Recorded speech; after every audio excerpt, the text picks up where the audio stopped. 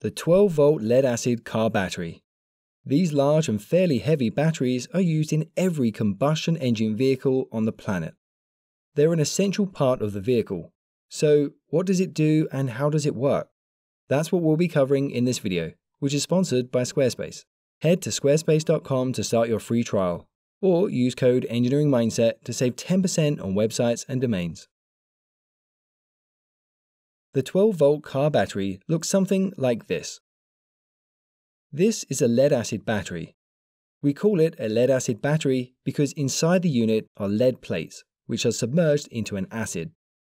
This creates a chemical reaction, which releases energy and provides us with a voltage and current. The battery is therefore storing energy in the form of chemical energy. It does not store electricity. This chemical energy is converted into electrical energy whenever we need it. This battery is also rechargeable. If we supply the battery with electricity, then we can reverse the chemical reaction and recharge the battery. These types of battery provide large amounts of current, especially compared to the typical smaller household alkaline batteries. We have covered how alkaline batteries work in our previous video. Do check that out, links can be found in the video description down below. The typical car battery is found in the engine bay of the car. The battery is first used to start the engine, and it does this by providing electricity to a small electrical motor known as the starter motor. The starter motor engages a small gear onto the flywheel of the engine. It turns this to turn the crankshaft, which starts the combustion engine. The small gear then disengages and the engine runs by itself. The starter motor needs to provide a huge amount of force to be able to turn the flywheel. So the starter motor will draw an extremely large current, possibly hundreds of amps, but this is only for a few seconds. This large current demand is going to reduce the energy storage of the battery, so we will need to top this back up. Connected to the engine is an alternator. The alternator is rotated by the engine, and as it rotates, it generates electricity. This electricity is fed back into the battery to recharge it. While the engine is running, the alternator recharges the battery, but it also provides the electrical power for things such as lighting and the music system.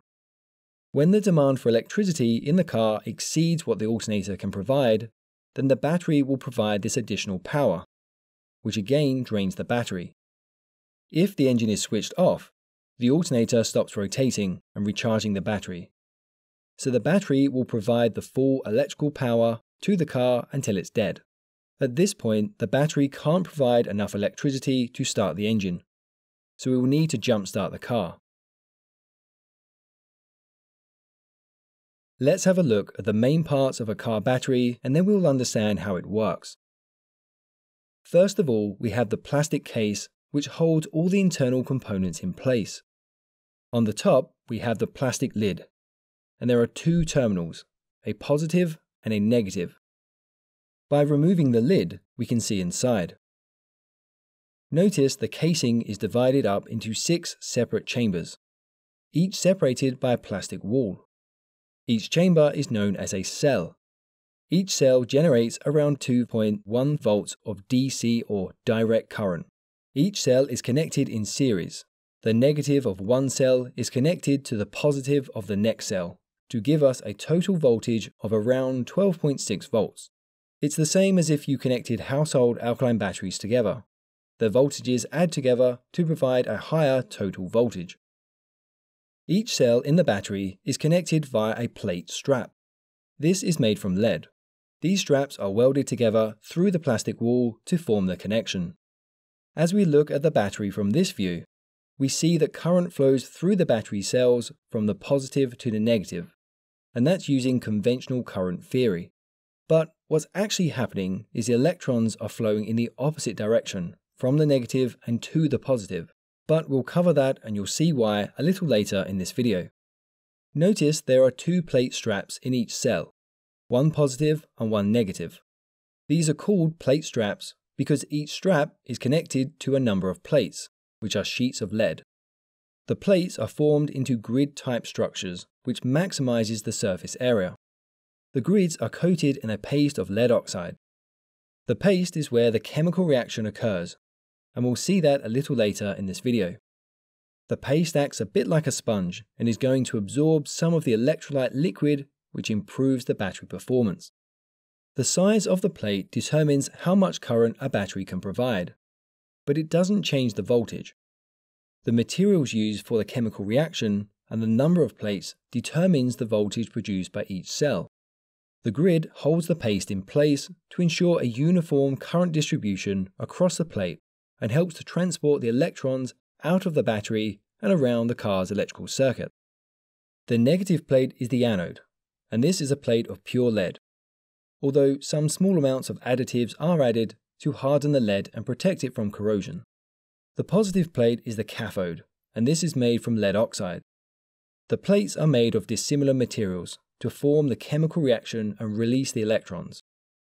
Now, we don't want the positive and the negative plates to come into direct contact with each other, because this would short circuit the battery. So, instead, we place each positive plate into an envelope separator. This is just a porous material that allows ions to flow through it without the materials coming into direct contact with each other. The positive and the negative plates will sit between each other with a small gap in between each plate.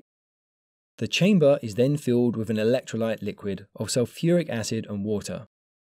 Hence, the battery is called a lead acid battery. I want to quickly recap on the fundamentals of electricity so that you understand the next part of how the battery works. Electricity is the flow of electrons in a circuit. We need lots of electrons to flow in the same direction through a wire so that we can place things in the path of the electrons, such as light bulbs. The electrons will therefore have to pass through this, and as they do so, they will produce light. When lots of electrons flow in the same direction, we call this current. Every material is made from atoms. The atoms have different numbers of protons, neutrons, and electrons, which is what makes them a different material. Some materials, like copper, have an electron which is free to move to other atoms. If we connect a power supply, such as a battery, to the copper wire, then the voltage of the battery will push the electrons and they will rush to get to the positive terminal of the battery. Now, I just said that the electrons flow from the negative to the positive. This is known as electron flow. It's a theory of how electricity works, and it's what's actually occurring. But you might be used to seeing conventional current, which is from positive to negative. This is the original theory, which is known as conventional current. This theory was proved wrong by Joseph Thomson, who discovered the electron, and he found that they flowed from the negative to the positive. However, we still to this day use conventional current theory when designing electrical circuits. So, if we looked at this simple circuit, we must always assume that the current is flowing from the positive and to the negative. But engineers and scientists know that electrons are actually flowing in the opposite direction. The electrical formulas we use will still come out with the same answers regardless of which way the electricity is flowing, so it doesn't really matter. There are two types of electricity DC direct current, which we get from batteries. The electrons in this type are pushed in one direction, so it's called direct current. Think of this like water flowing down a river. The other type of electricity is AC, or alternating current, which is what you get from the power outlets in your homes. In this type, the electrons are pushed and pulled forwards and backwards. Think of this like the tide of the sea flowing in and out between its maximum high tide and its maximum low tide. When we mix certain materials together, we can cause chemical reactions. This is when the atoms of one material interact with the atoms of another material. During this interaction, atoms will bond together or break apart. Electrons can also be released or captured by atoms during this reaction. When we talk about atoms, you will usually hear the term ion used.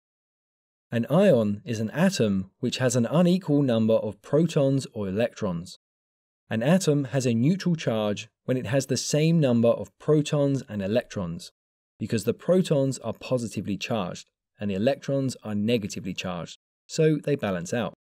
If the atom has more electrons than protons, then it's a negative ion. If the atom has more protons than electrons, then it's a positive ion. Rather than trying to understand this complex construction, we're going to simplify it down to this simple model of a cell with a single cathode and anode. In this cell, we have the electrolyte liquid, which is one third sulfuric acid and two thirds water.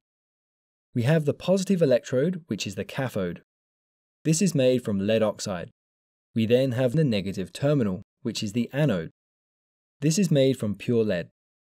When these materials are combined, we're going to get a small chemical reaction between the atoms. I'll show the atoms of these materials with these coloured spheres. The positive cathode terminal of lead oxide is going to react with the sulfate in the electrolyte. This will form a layer of lead sulfate on the cathode terminal. During this reaction, an oxygen ion is ejected from the cathode and into the electrolyte.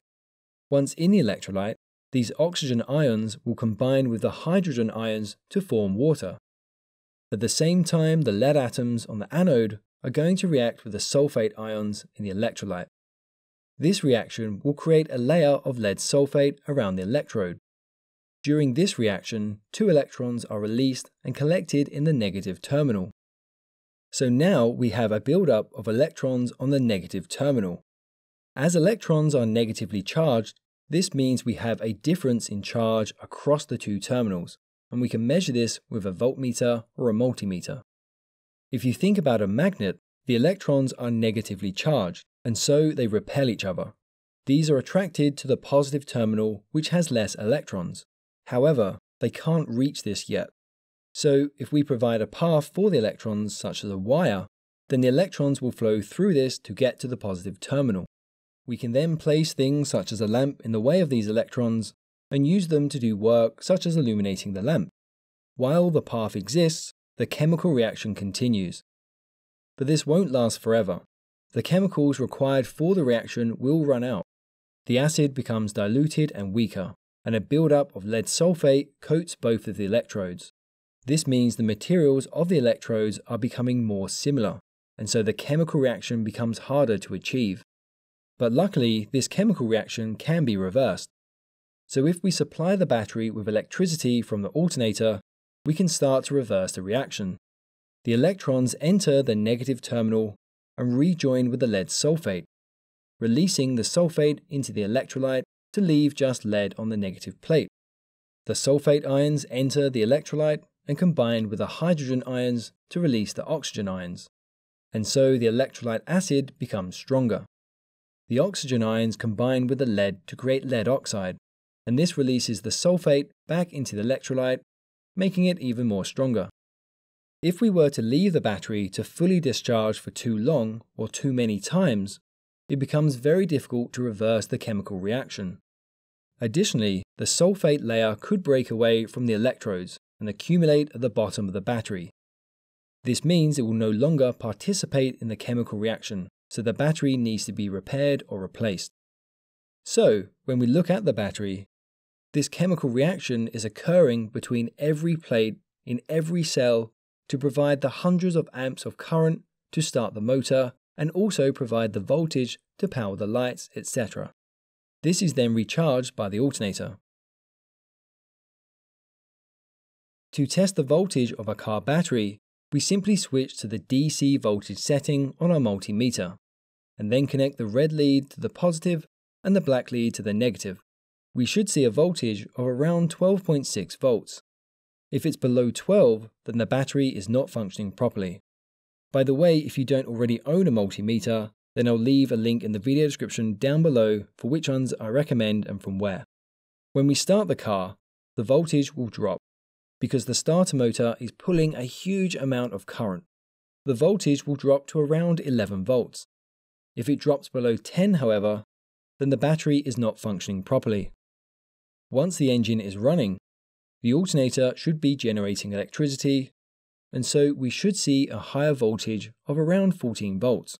That's because the alternator is recharging the battery and the voltage needs to be higher to help force electrons back in and reverse the chemical reaction. But now that you are all charged up, check out squarespace.com to create your own online web presence, which is packed with features to empower individuals to launch, share, and promote their own projects. There's powerful blogging tools to showcase your project photos, videos, and progress updates. You can easily schedule appointments for classes or sessions with team members or clients all through their inbuilt tools. And you can even collect payments or donations to help support your cause. Head to squarespace.com for a free trial. And when you're ready to launch, go to squarespace.com forward slash engineering mindset to save 10% off your first purchase of a website or a domain. Okay, guys, that's it for this video. But to continue your learning, then check out one of the videos on screen now, and I'll catch you there for the next lesson. Don't forget to follow us on Facebook, Instagram, LinkedIn, as well as theengineeringmindset.com.